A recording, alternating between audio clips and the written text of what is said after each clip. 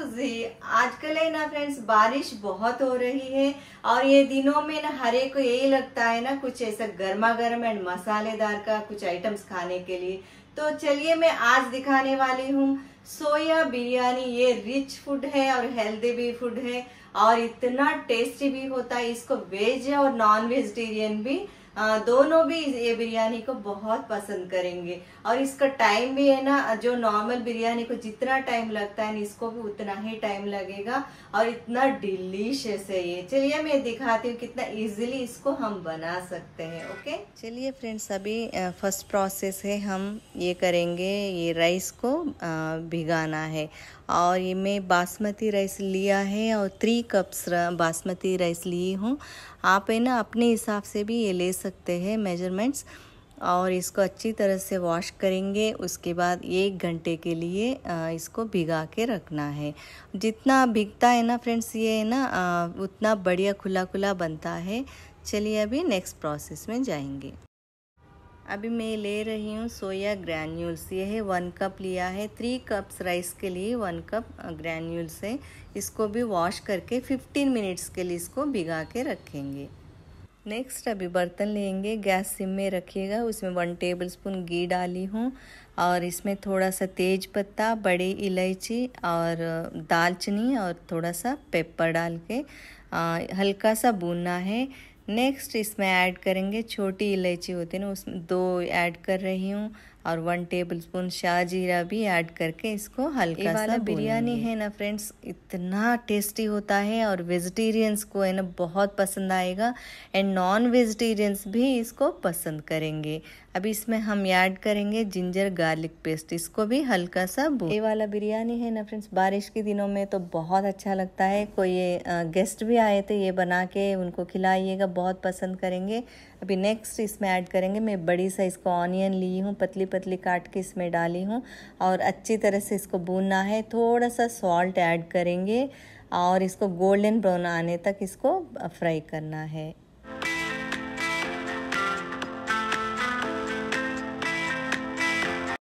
देखो, पंद्रह मिनट हो चुका है सोया ग्रैन्यूल्स को मैं भिगा के। अब इसको पानी है ना निकालना है, अच्छी तरह से स्क्वीज़ करके बर्तन में लेंगे।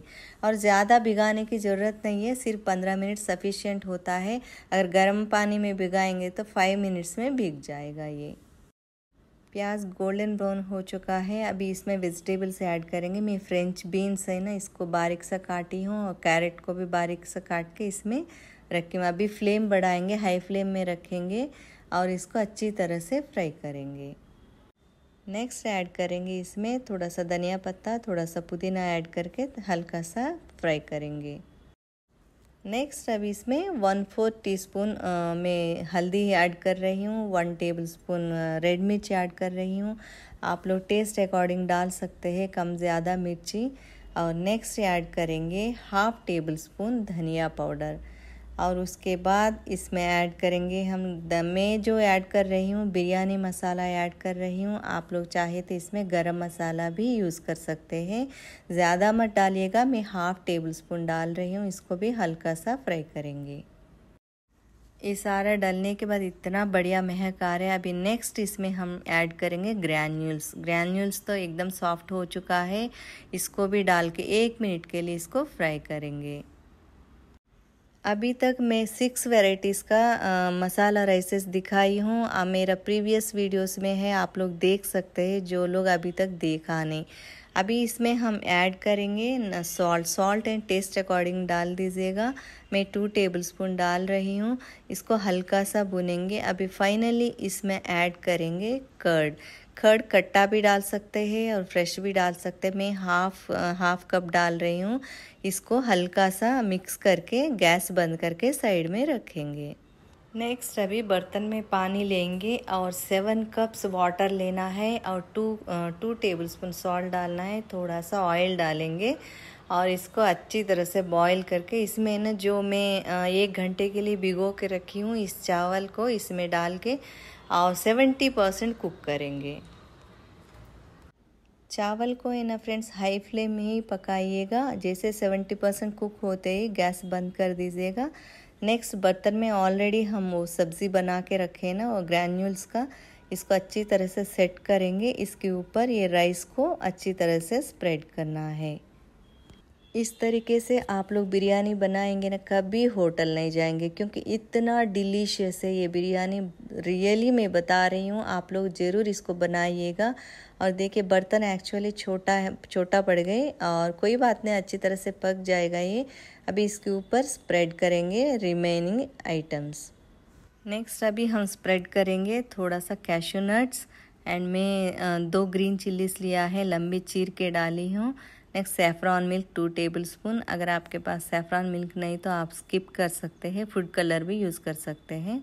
थोड़ा सा धनिया पत्ता थोड़ा सा पुदीना एंड फ्राइड ऑनियंस फाइनली इसमें डालना है घी. घी कंपलसरी होता है, उसके बिना मज़ा नहीं आता है. देखो, घी डाल के अभी इसको अच्छी तरह से पैक करेंगे मतलब कवर करेंगे उसके ऊपर. अभी कवर करके ना इसको फॉयल रैप करेंगे। इसको हवा नहीं जाना चाहिए। बिरयानी हमेशा ने इस तरीके से रैप करके पकाना है। और सिम में रख के थर्टी मिनट्स तक इसको पकाएँगे। चलिए अभी बिरयानी कैसी बनी देखेंगे। एकदम परफेक्ट बना है। फ्रेंड्स और ये खुला खुला बना है। कलरफुल इतनी महक आ रही है। बहुत बहुत बढ़िया लग रहे ऐसा लग रहा है मुझे मैं कब खाऊं इसको।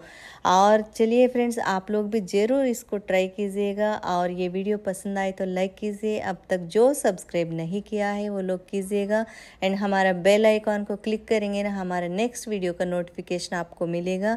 एंड ये बिरयानी के साथ आप लोग रायता भी खा सकते हैं एंड आलू कुरमा भी खा सकते हैं एंड चिकन कुरमा भी इसको, इसके साथ खाएँगे तो बहुत बहुत मज़ा आता है। लेकिन ये वेज, ये आज तो मैं बनाई हूँ, वेज है, इसलिए मैं चिकन का नाम नहीं लूँगी। तो आप लोग है ना, वेज का कोई भी कुरमा बना के इसके साथ खा सकते हैं। ओके? Thank you.